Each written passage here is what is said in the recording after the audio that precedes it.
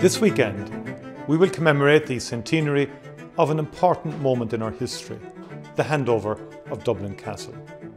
It is a fitting opening to the series of upcoming centenary reflections on a year which is one of the most defining and divisive we have ever experienced.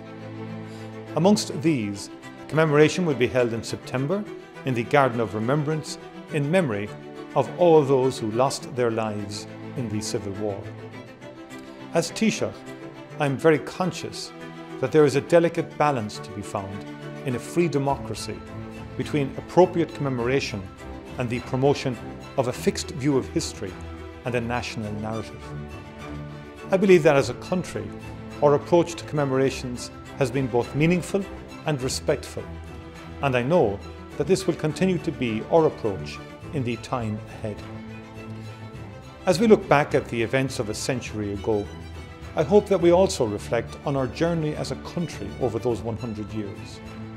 Out of the turmoil of that time, we came together and built a country that has achieved so much and has come so far.